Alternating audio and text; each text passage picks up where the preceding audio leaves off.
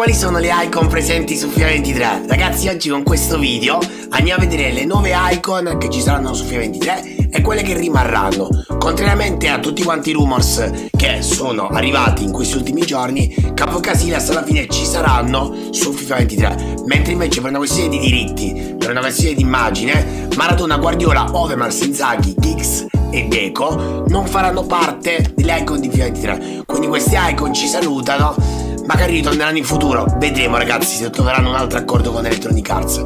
Ma fu Casillas che si hanno chiacchierate e si potevano dire ormai lontane uh, da questo FIFA invece ci saranno perché hanno trovato un accordo con Electronic Arts. Ma la vera domanda è quali sono le novità?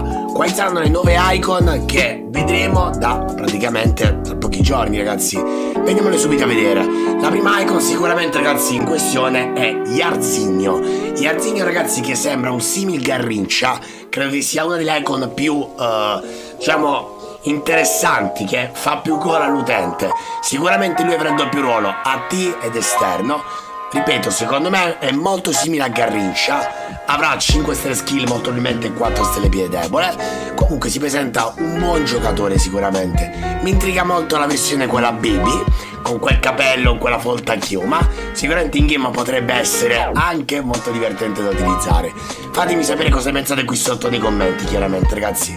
Come altra icon ragazzi abbiamo Müller, un attaccante incredibile questo, questo attaccante ragazzi faceva gol veramente in tutte le posizioni. E eh, ovviamente ragazzi come ben potete immaginare guardando anche le statistiche ci sarà da vedere sicuramente il fattore velocità. Somiglia forse molto a Van Basten.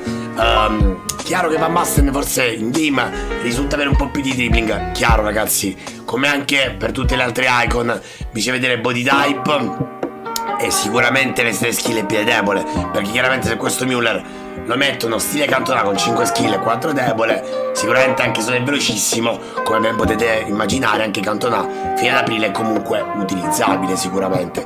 Quindi aprile, ma, aprile, marzo, aprile maggio magari. Quindi comunque secondo me poi ricordatevi che ci saranno anche le moment di queste carte. Secondo me potrebbe essere una carta molto interessante. Chiaro che se lo vanno a mettere 3-3 insomma ci facciamo ben poco, no? Potrebbe essere utilizzabile soltanto per i fanboy e basta. Fatemi sapere anche Muller cosa ne pensate qui sotto nei commenti, se vi intriga. A me sinceramente al momento quella che mi piace di più è Yarzigno sicuramente, guardando le statistiche. Andiamo con la terza icon nuova, ovvero Xabi Alonso. Lui era veramente, veramente, veramente molto, molto forte. Uh, l'unica pecca che balza subito all'occhio di questo player è sicuramente la poca velocità la poca velocità perché ha 70 nella prima, la BB addirittura 67 e la mid 72. Io credo ragazzi, non vorrei sbilanciarmi, fate tutte le clip che volete così già ci troviamo pronti, ma questa è una carta che sicuramente non sarà utilizzabile ragazzi, a meno che chiaramente qualcuno è fanboy e magari lo vuole provare, lo vuole testare, ci vuole fare una Weekend League. Uh, credo che neanche la, un'ipotetica uh, carta moment di questo Cemelonzo potrebbe rendere utilizzabile perché è davvero, davvero troppo, troppo, troppo lento.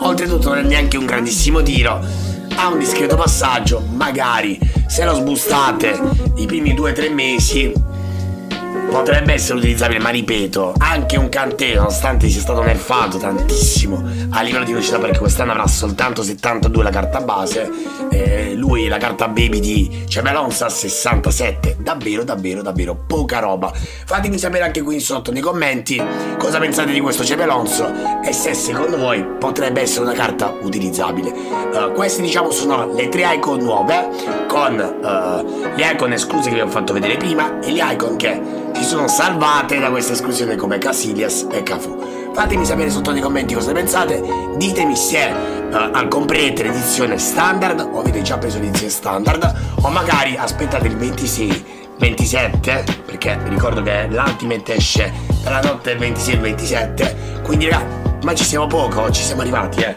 Siamo arrivati veramente al, al, al giorno tanto atteso. Ci siamo manca davvero poco Fatemi sapere quali edizioni avete preso quale state aspettando. Noi ci becchiamo in un prossimo video. Lascia like e iscriviti perché arrivano tante sorprese per il nuovo FIFA. Mi raccomando. Ciao ragazzi!